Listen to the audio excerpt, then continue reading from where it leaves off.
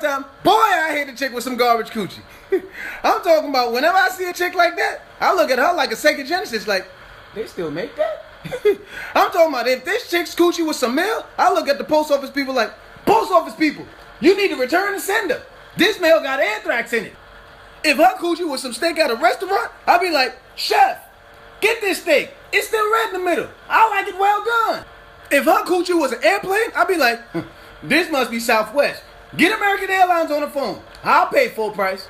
If her coochie was a haircut, I look at the barber like, so you just gonna zeke me and I'm supposed to pay you for this? then on top of that, this chick farted while we was having sex. I'm over there it up like, ha ha. All I heard was, what the hell? She was like, you made my coochie fart. I was like, listen, chick, at the beginning of the sex session, your coochie did not smell like green eggs and ham. So which hole did that sound come from out of? there ain't no moral. You better be smiling, and I'm still fly.